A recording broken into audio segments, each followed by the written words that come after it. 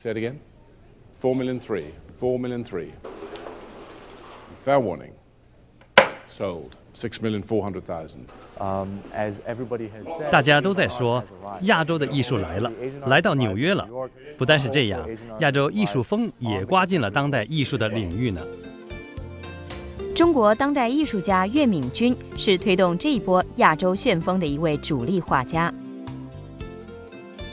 单在2007年的一年里，他的两幅作品《教皇》与《西雅岛屠杀》就分别以437万和410万美元卖出。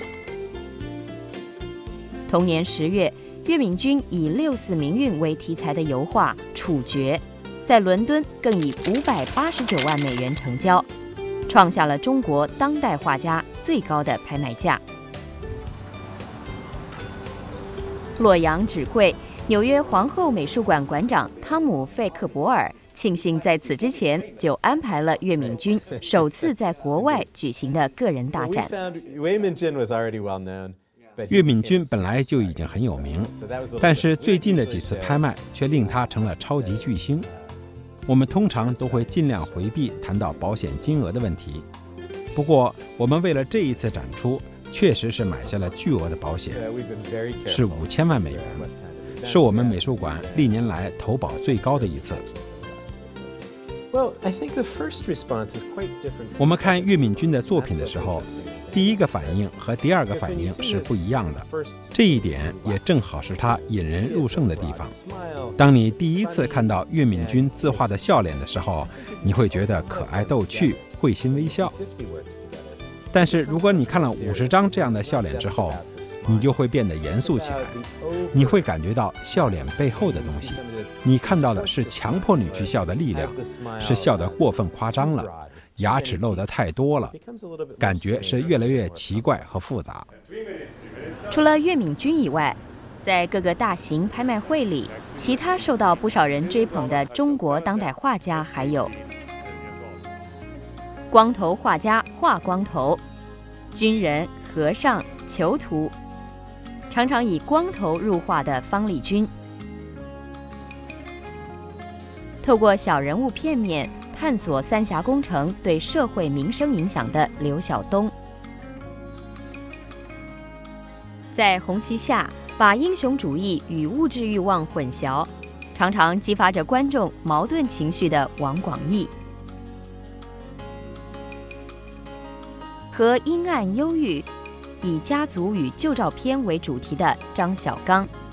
中国当代艺术炙手可热是今天的潮流，不过艺评人张朗朗却认为，在急速膨胀当中要留意泡沫的爆破。它的国内的市场和国外的市场是互动的，国内是因为这几年经济整个的喷井喷的飞升，这些人有了钱，他们过去买古典艺术，发现在潘家园和各个拍卖行买的古典艺术，百分之九十九是假的。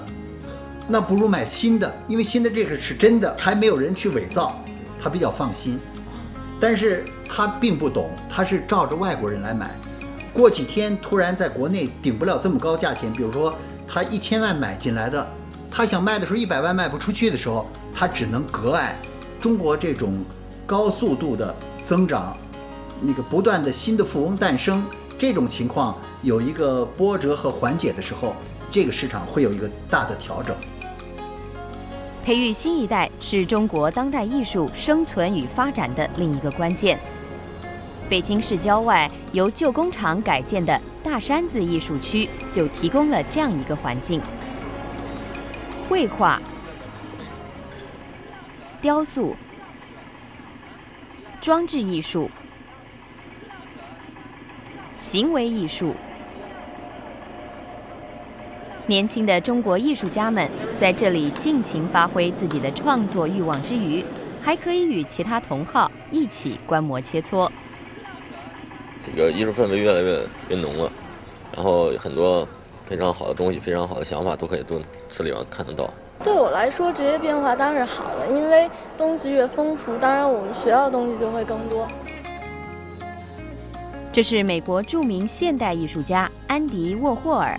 《死亡与灾难》系列里的一幅作品，名为《绿色交通事故》。二零零七年五月在佳士得的拍卖会上以七千一百七十二万美元的天价成交。